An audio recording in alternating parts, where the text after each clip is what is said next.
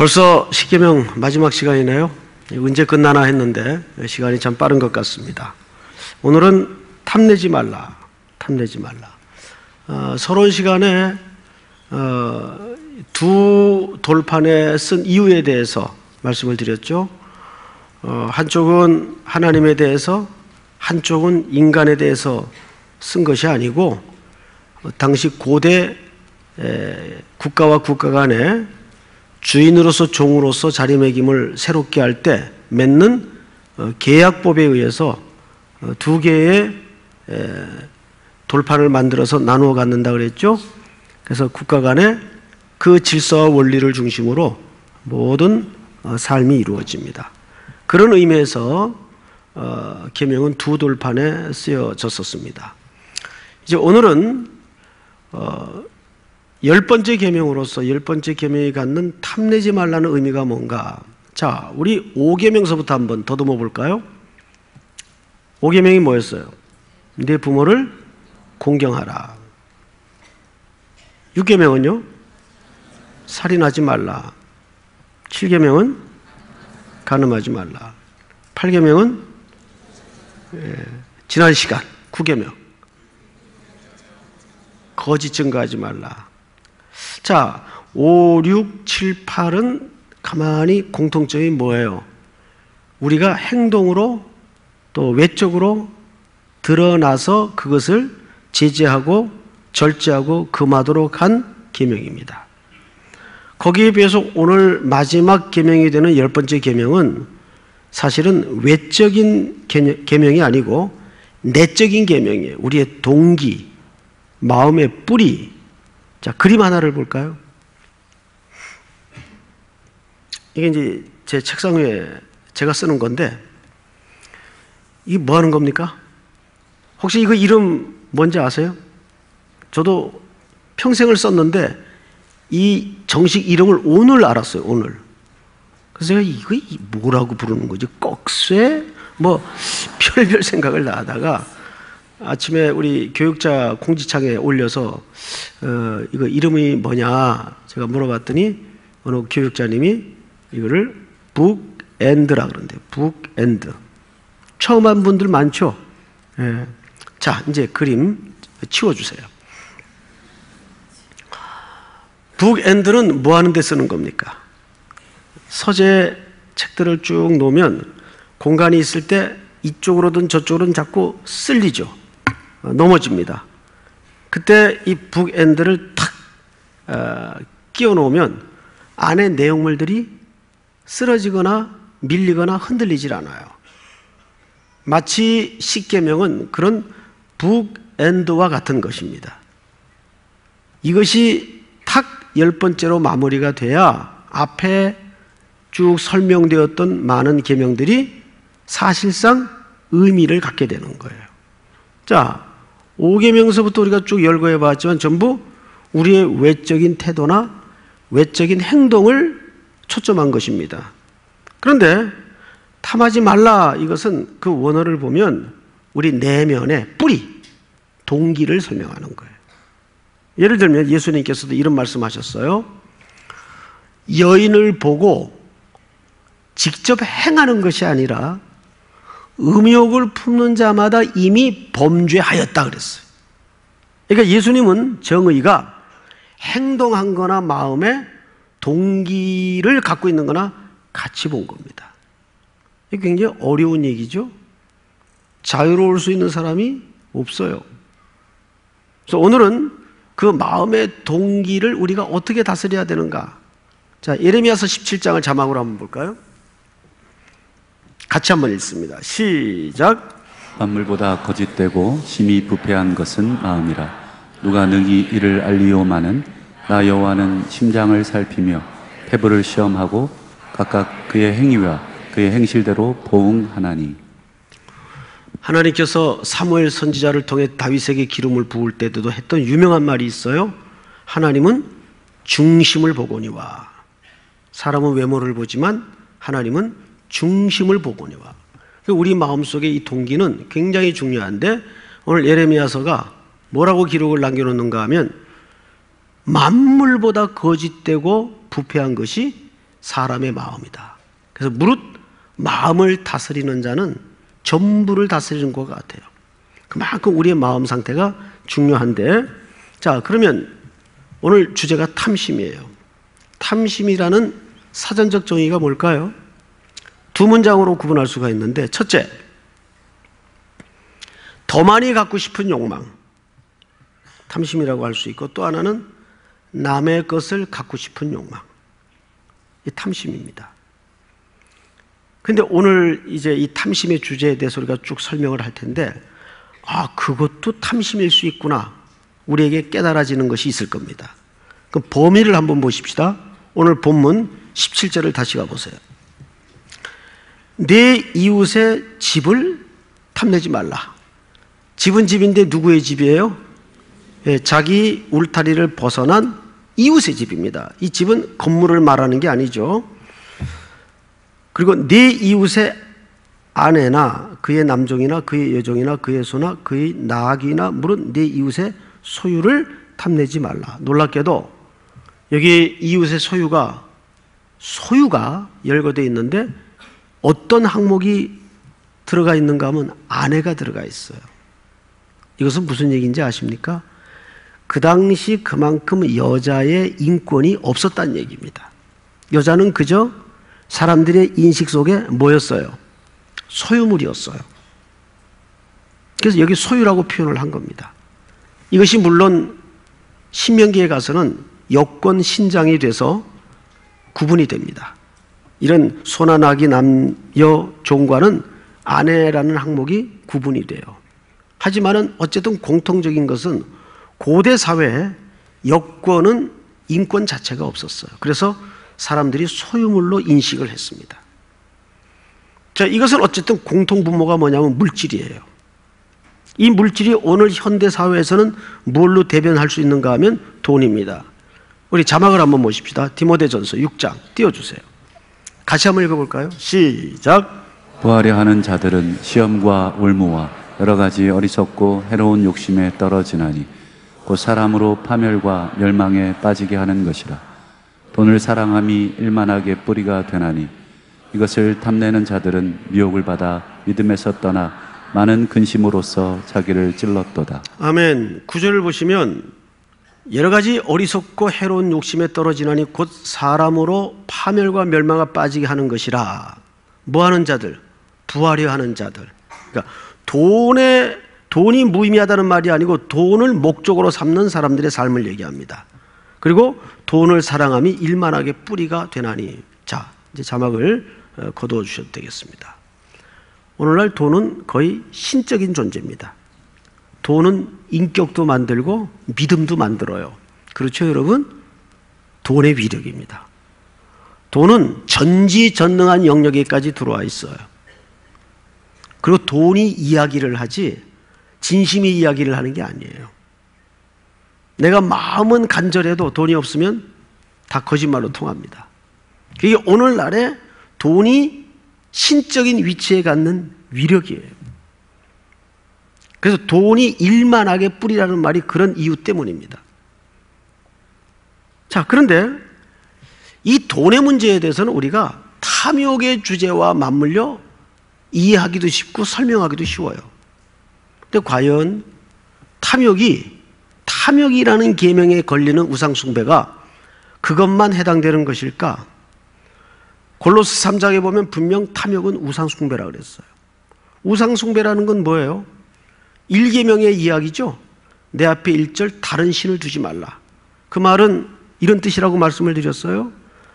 하나님과 나 사이에 그러니까 하나님과 너 사이에 다른 것이 개입되어서는 안 된다 그 말이었죠. 그것은 단순히 계명의 문제를 넘어서서 하나님이 죄인된 인간을 향한 끊임없는 구애 사건이라 그랬습니다. 너와 나 사이에 일절 어떤 것도 끼어들어서는 안 된다 그 말이에요. 그래서 하나님의 성품 속에 질투하는 성품이 있어요. 나보다 더 사랑하는 걸 하나님은 견디질 못해요. 사랑의 속성상 그게 맞아요. 자, 그런데 놀랍게도 10계명의 속성과 1계명의 속성이 같아요. 그래서 골로새 3장에 보면 모든 탐심은 곧 우상숭배이라는 말이 그래서 나오는 이야기입니다. 우상숭배가 뭡니까? 하나님보다 더 사랑하는 거죠. 자, 그 얘기를 조금 다른 각도에서 한번 해보겠습니다. 우상숭배는 많은 주제들이 있어요. 지성주의, 이성주의, 우상숭배일 수가 있습니다. 제가 공부하는 학교에 가끔 이제 휴가차 또는 방학 때 한번 가보면 도서관에 10년째 앉아있는 후배들이 가끔 있어요. 그래서 제가 이제 친한 후배니까 툭 치면서 야, 아직도 여기 앉아 있으면 어떡하냐. 귀국 안 해? 그러면 한 친구가 그런 얘기를 해요. 선배님, 저는 너무 공부하는 게 행복해요. 너무 공부가 좋아요. 그리고 도서관에서 책에 파묻혀서 공부만 해요. 근데 전작 애들은 학교 갈 등록금도 없고 등록도 못하고 있고 와이프는 접시 닦고 있고 투잡 세잡을 떼어요. 세탁소 가서 또 아르바이트 하고 근데 자기는 도서관에 앉아서 너무 좋대요. 어떻게 생각하세요? 우리 자매들만. 글쎄요. 그건 좀 아니잖아요. 그건 아니죠. 그건 밸런스가 깨진 겁니다. 신학도 신학이라는 주제가 선한 학문이지만 신학도 삶을 위한 신학이어야 옳지 않겠어요? 삶으로 연결되는 신학이어야 건강한 신학이 아니겠어요? 그런데 공부 자체가 너무 좋아서 되게 이제 배운 분들이 이 지식이 그렇게 말하자면 우상이 되는 경우가 있어요. 가끔 가다가 TV에 무슨 토론 시간 같은 거 있으면 무슨 몇 분 토론 몇 분 토론 있지 않습니까? 뭐 사망 유의 이런 토론이 있어요. 그러면 어떤 사람은 질문을 하는데 저게 정말 질문을 위한 질문이 아니고 자기의 지식을 아주 뭐 나열을 해요. 질문은 없어요, 별로. 나 이 정도 알고 있다. 그거 말하기 위해서 질문하는 사람들이 있어요. 지식을 숭상하는 사람들. 또 이성 우월주의. 이 계몽주의 시대에 그런 일들이 폐해가 많았지 않습니까? 여러분, 그러나 신앙이라는 것은 그렇게 단순한 문제가 아니죠. 또 특별히 우리 기독교인들 가운데 벌어질 수 있는 우상숭배가 있어요. 영의 욕과 공명심과 인정받으려는 인정 중독증이 있어요. 욕을 안 먹고 산 사람은 욕 한 번 먹으면 견디질 못해요. 그래서 사람이 정신건강상 적당히 욕을 먹고 사는 게 좋습니다. 어, 정말이 웃을 일이 아니에요. 여러분 요즘 그 베스트셀러가 되어는 믿음 받을 수 있는 용기란 책이 있어요.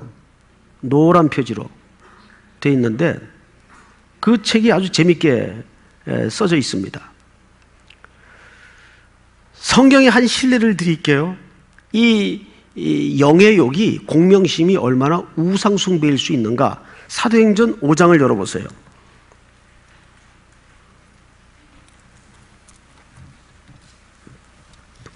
사도행전 5장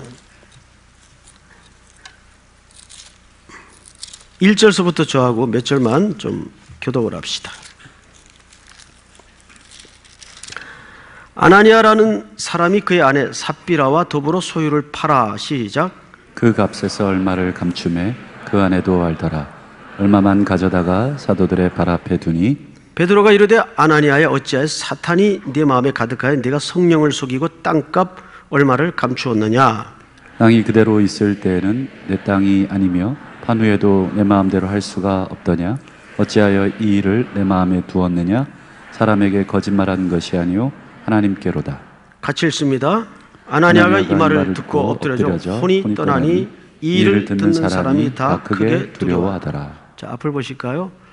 이거는 헌금을 뚱쳐먹은 어, 착복 사건이 아닙니다, 여러분. 그건 표면적인 일이고 여기에는 아주 무서운 무서운 메시지가 감춰져 있어요. 이건 초대교회가 한창 부흥하고 있을 때 일어났던 매우 충격적인 사건이었죠. 부부가 몇 시간 사이로 시체가 되어서 떠매어져 나갑니다. 엄청난 사건이었어요. 그것도 교회가 한창 일어나고 있을 때. 그러니까 사탄이 지혜롭죠. 근데 이 사건이 왜 일어난지 아세요? 이 당시는 이렇게 강제 헌금도 없었고 교회에서 헌금을 작정시켜서 거두게 한 그런 때도 아니었습니다. 정말 순수함이 묻어 있는 초대교회였어요. 근데 세계 각국에서 온 사람들과 가난한 사람들이 교회로 교회로 몰려들기 시작합니다. 교회는 날로 부흥이 되고 뜨거워지고 성령 충만해 있었어요. 아무리 그래도 그 사람들을 다 섬기고 구제하려면 뭐가 필요해요? 돈이 필요해요. 돈이 우상이 되어서는 안 되지만 돈은 필요하잖아요. 교회에서도. 성교하려면 전부 돈이 소용되어서 나가지 않습니까? 그러다 보니까 성도들이 니꺼 네 내거 가리지 않고 막 내놓기 시작합니다. 사도들의 발 앞에 이것도 좀 갖다 쓰십시오. 저것도 갖다 쓰십시오. 그 중에 대표적인 사람이 요셉이라는 사람이 있었어요. 레위족인데 이 사람이 자기 밭을 팔아서 사도들을 발 앞에 둔 겁니다. 어, 이거 어려운 사람들을 위해서 쓰십시오. 그게 초대교회 굉장한 위로가 되었어요. 그래서 이 헌신이 사도들에게도 성도들에게도 큰 격려가 되어서 그가 별명이 붙죠. 바나바. 바나바는 이름이 아니에요. 원래 그것은 별명이에요. 그 별명의 뜻은 위로의 아들이다 그 뜻이에요. 자, 4장을 한번 보십시다. 36절. 구브로에서 난 레위 족속이 있으니 이름은 요셉이라.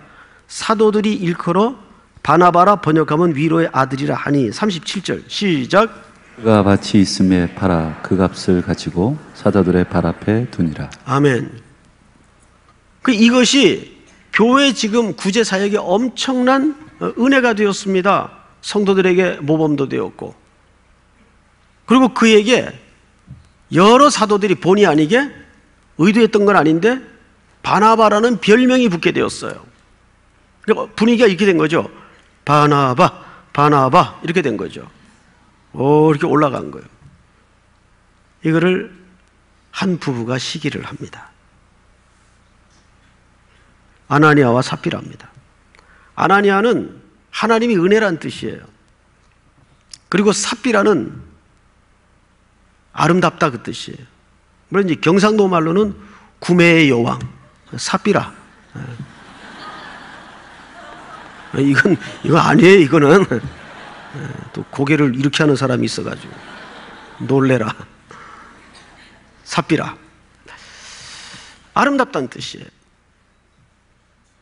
한날은 남편이 들어와서 시무룩합니다. 여보, 당신 표정이 왜 그래? 아, 요즘 교회 그 요셉 그 친구 그 별명까지 생겼어. 무슨 별명? 전부 다 그 사람만 존경해주고 바나바래 바나바. 바나바가 돼버렸네. 위로의 왕. 아, 난 뭐야? 그런 존경도 못 받고.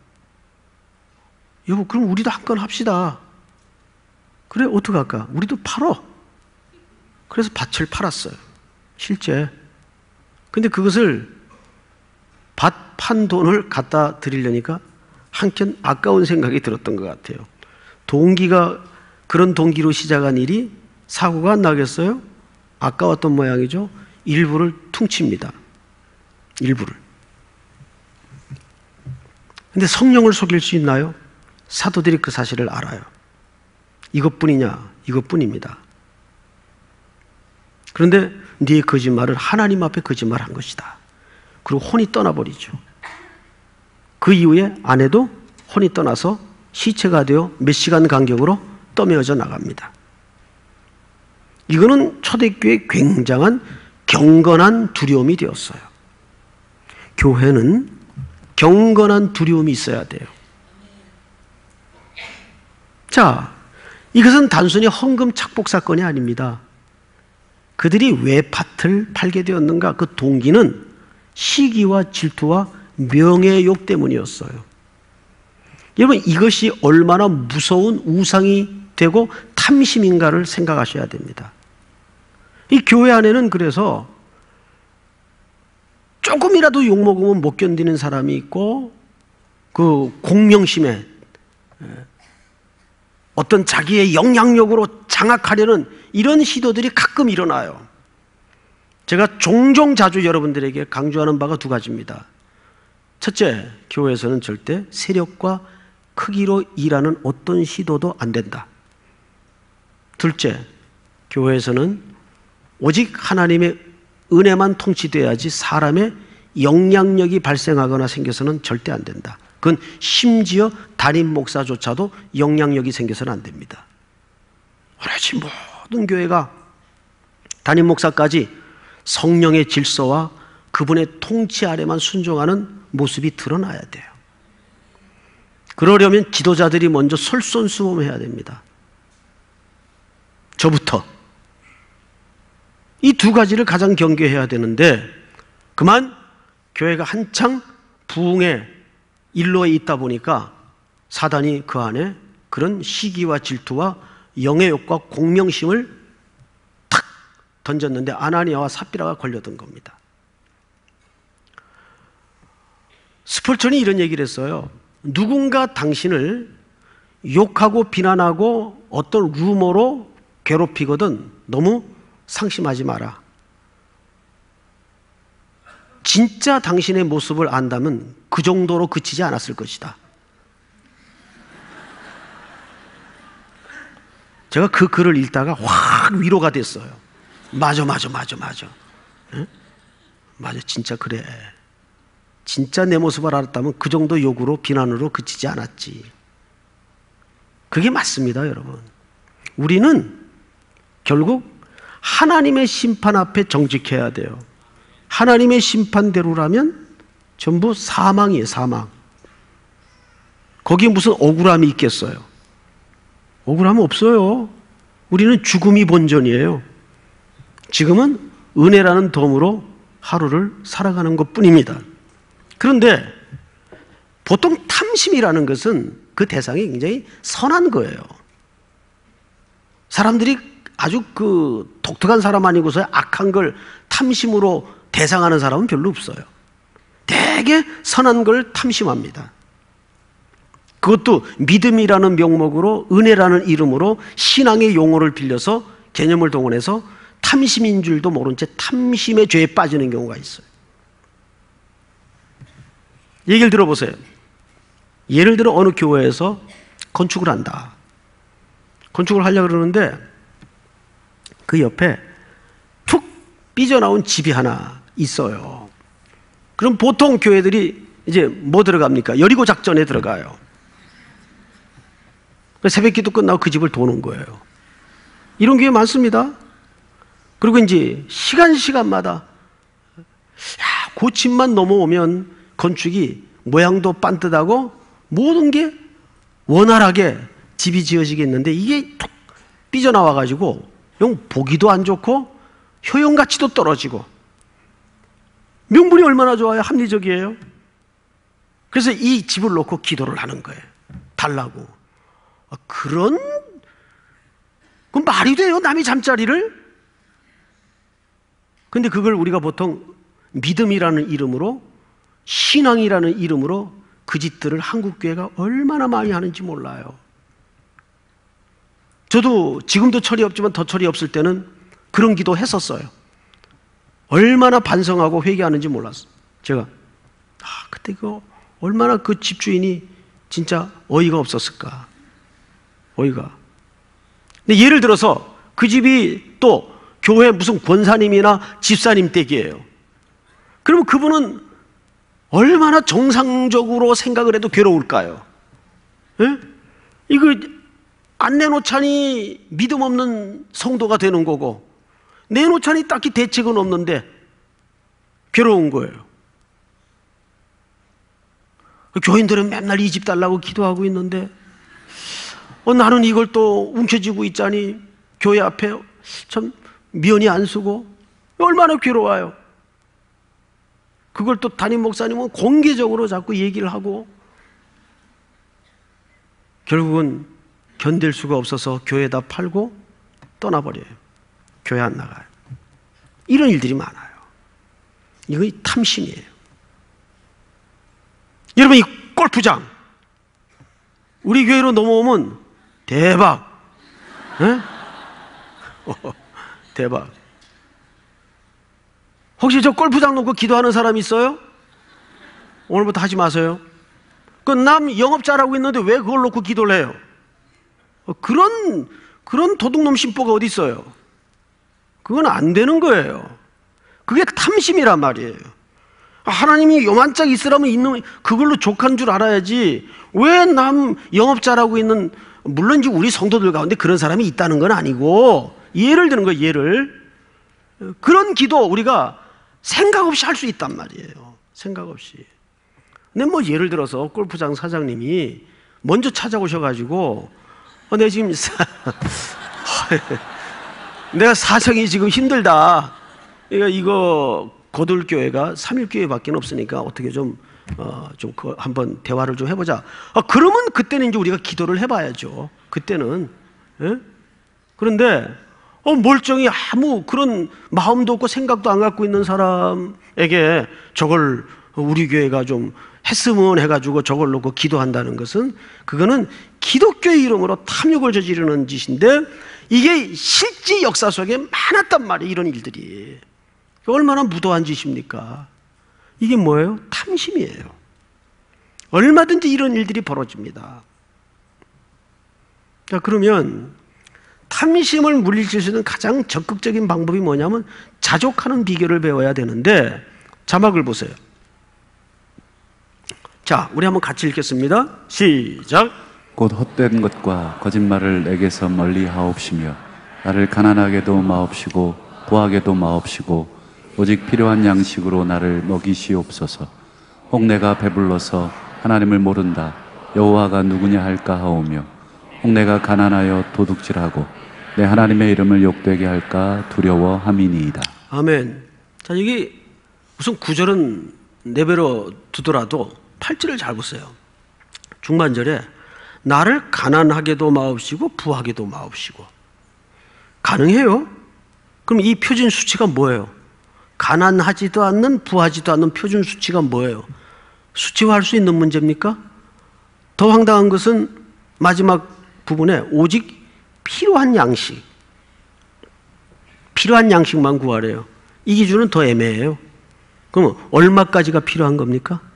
사람의 욕망이 끝이 없는 건데 이걸 일찍이 예수님이 가르쳐 주셨죠. 주기도문이라는 기도문이 있어요. 그 기도문은 예수님의 기도가 아닙니다. 예수님이 가르쳐 주신 기도죠. 제자들이 기도 가르쳐 달라니까 예수님 너희는 기도할 때 이렇게 기도해라 하고 기도의 골자를 가르쳐 주신 겁니다.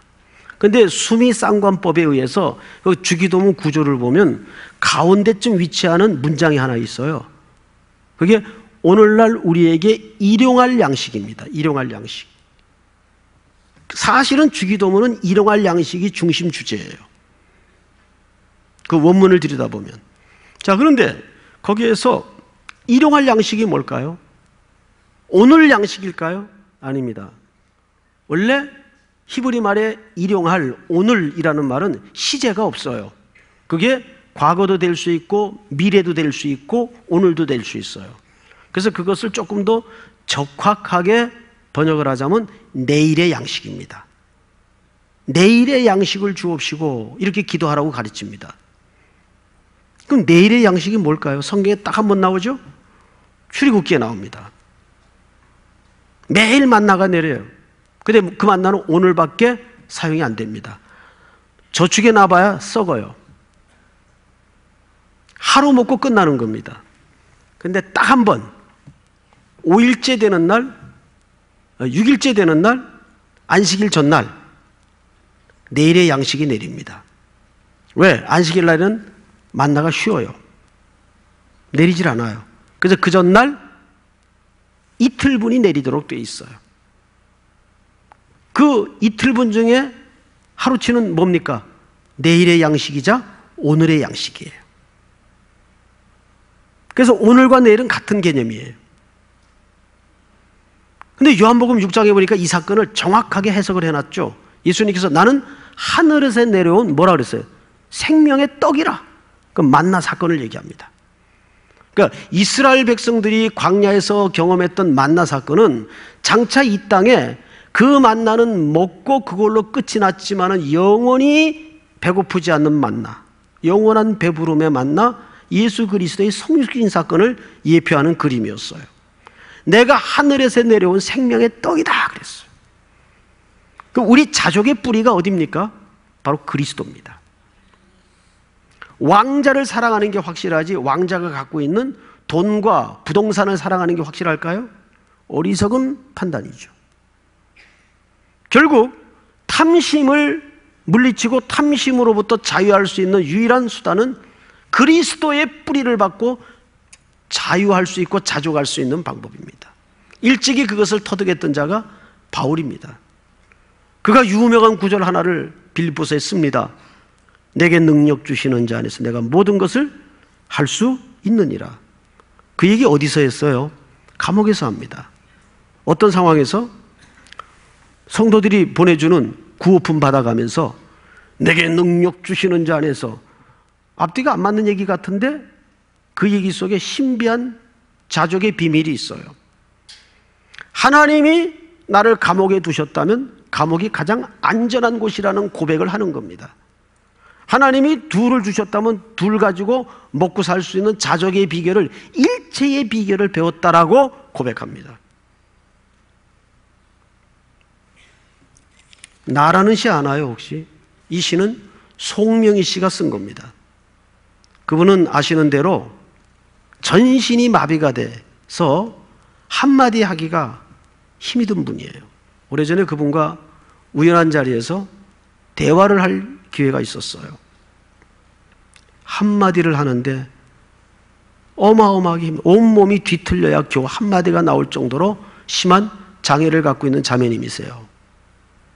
그분이 시를 하나 썼습니다. 나 가진 재물 없으나, 나 남이 가진 지식 없으나, 나 남에게 있는 건강이 있지 않으나, 나 남이 없는 것 있으니, 나 남이 못 본 것을 보았고, 나 남이 듣지 못한 음성 들었고, 나 남이 받지 못한 사랑을 받았고, 나 남이 모르는 것 깨달았네. 그 다음 후렴에서 절정을 이룹니다. 이 찬송을 기억하는 모든 분들이 아시겠지만 공평하신 하나님이 여러분 하나님 송명희 씨가 하나님을 공평하다고 했다면 공평한 겁니다. 그렇죠? 공평한 거예요. 이건희 씨가 하나님이 공평하다고 했다면 그건 좀 글쎄 이분은 지독한 아픔을 겪고 사는 분인데 그분이 공평하다고 했다면 사랑하는 3일의 성도 여러분 그리스도 안에 깊 은 고백과 사랑과 뿌리를 둘 때 거기에서 우리는 탐심으로부터 드디어 자유할 수가 있는 거죠. 오늘 이 고백이 우리 모두의 고백이 되고 삶으로부터의 예배 속에 순종되어지기를 주의 이름으로 축원합니다. 다 일어나십시다. 나 가진 재물 없으나 같이 찬양을 하십시다.